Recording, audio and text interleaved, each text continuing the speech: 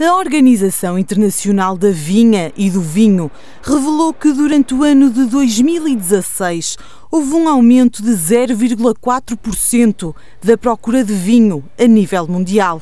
De acordo com o relatório anual de conjuntura, Portugal aparece em destaque por ser o país com maior consumo por habitante. O consumo do vinho em Portugal já é uma coisa que vem de há muito tempo. Já no tempo do chamado Estado Novo, dizia-se que beber um copo de vinho é dar beber a um milhão de portugueses.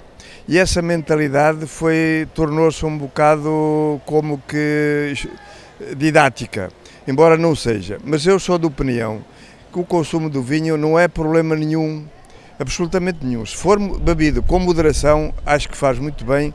Portugal lidera assim o ranking mundial com uma média de 54 litros consumidos por pessoa durante o ano. Segue-se França, Itália, Suécia, Suíça, Bélgica e, por último, Reino Unido. E no que diz respeito a números, as opiniões variam. Opinião geral, eh, se está aprovado nas estatísticas, eh, será verdade. No meu caso, não bebo mais do que que bebia há 10 anos atrás. Uh, consumo mais ou menos a mesma quantidade. Uh, Surpreendeu-me bastante a quantidade que atribuem como ser uma grande quantidade de vinho. Eu agora não tenho presente, mas na altura fiz as contas: 54 litros por indivíduo durante um ano, não é? Quer dizer, isso são em termos práticos, são cerca de 11 garrafões de vinho.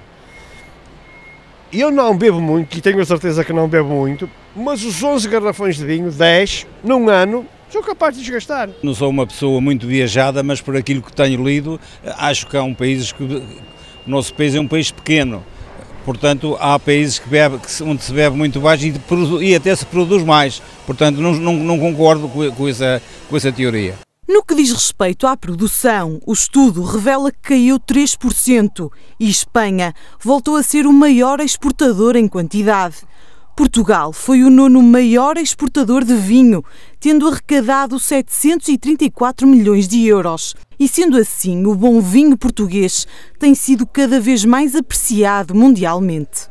Nós em Portugal temos boas castas, temos bons vinhos, são apreciados mundialmente e a nossa exportação de vinhos até está a subir imenso, o que é muito bom para a nossa economia e para, até para a vida dos portugueses e para tudo. O vinho lentejano e o vinho do Douro são vinhos de, de grande qualidade e eu gosto de, à refeições beber um copinho, gosto bem de saborear um copinho de vinho tinto maduro que é uma, uma beleza.